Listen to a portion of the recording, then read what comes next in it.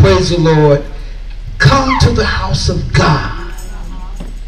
The Bible says, be more ready to hear than get a sacrifice of food. That's what the word says.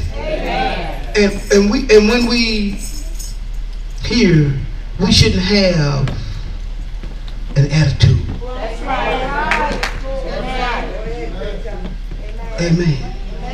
You got the, the Bible said receive with meekness the engrafted word of God, which is able to save you and give you an inheritance among those that are what? Sanctified. See, y'all didn't preach, so I'm just going to say a little something and sit down.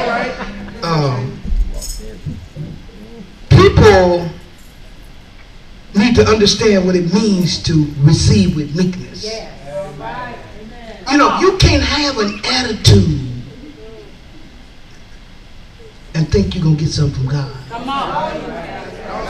It ain't going to happen.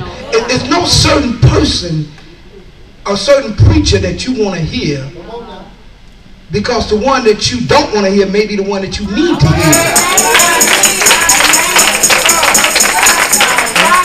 And we don't all preach. I mean, we all can preach. Everybody up here can preach. Don't fool yourself.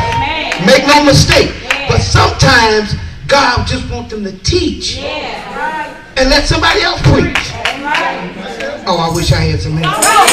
Amen. Don't fool yourself. Change to preach. Glory. Hallelujah.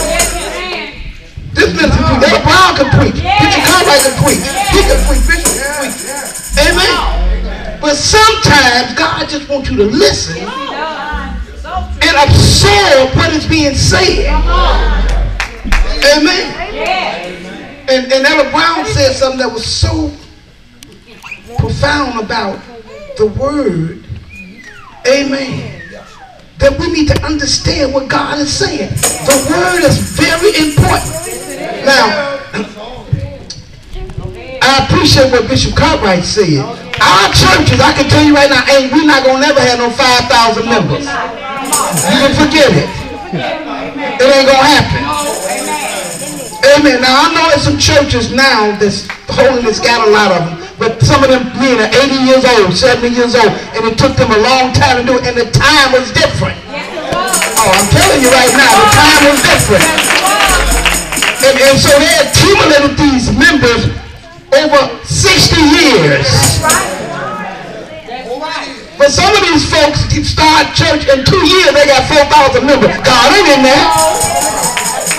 Because God does not uh, uh, surpass Bishop Mack been preaching 30 years. He been preaching five years. You got 3,000, he got 30. Come on. Something ain't right with that picture. Amen. It's a lot of them that we hear on the radio now. I don't care. if You don't have to even think about me. It's the truth. Because you cannot grow that fast in holiness. Folks ain't getting saved. And people are not delivered. They don't know what the truth is. They just they just having uh, it's a social club.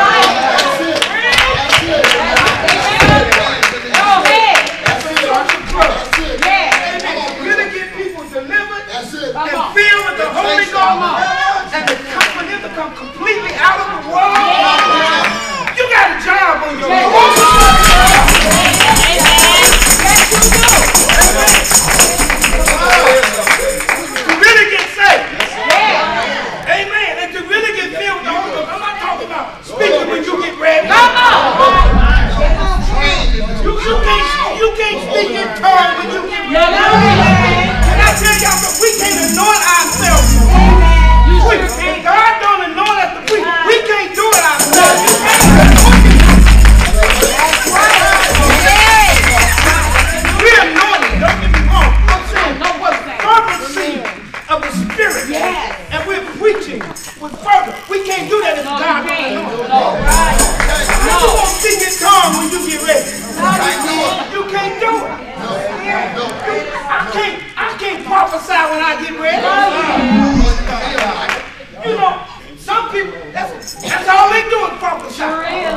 That ain't God. No. Right. God ain't giving you the prophesy every time you preach. No.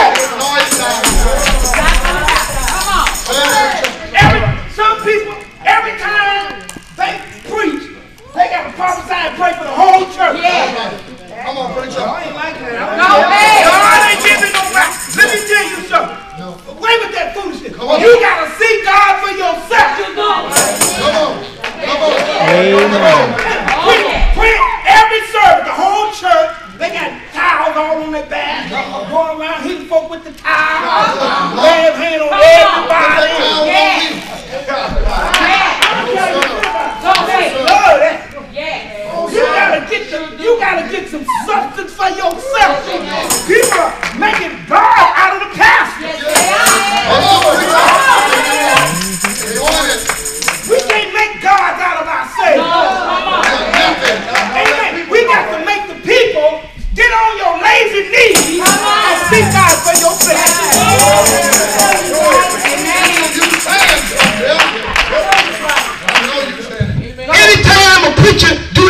that every he ain't doing nothing. I don't care if you don't like me. Show it out. Remember, you gotta say Trying to show somebody how much you got.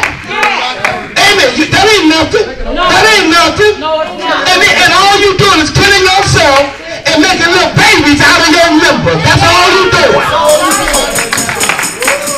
And then most of the time, won't invite nobody over that's gonna really preach. Want somebody just like you.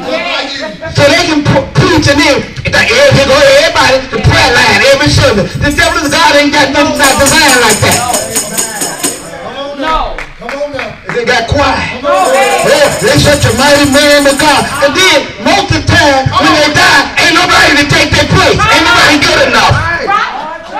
I don't care if you don't like me. Ain't nobody good enough to take their place.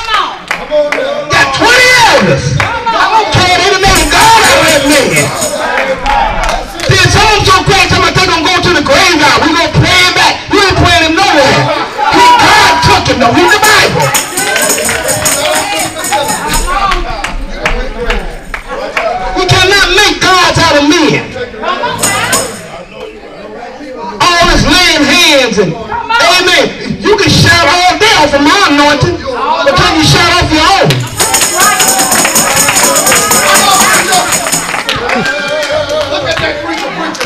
Are y'all, I said you can shout all day off of my anointing. Cause when the anointing get on you, it can get on any little baby. And you put your hand on you, gonna start to shout cause the anointing is. But it ain't gonna stay there cause that's my anointing.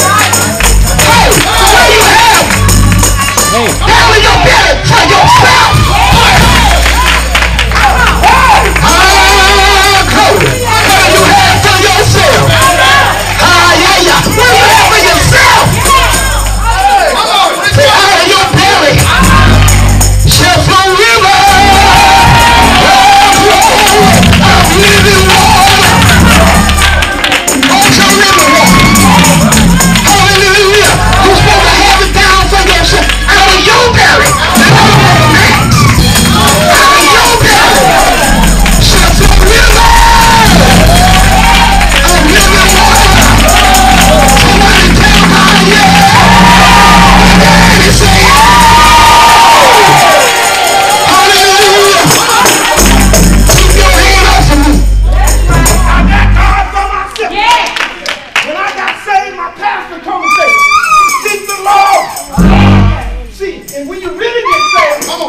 Because see, when I got saved, I, the tongues was down there and I didn't even know how to let them come out. See, when you really give up, you almost had a baptism of the Holy Ghost when you get saved. Come on now. I said when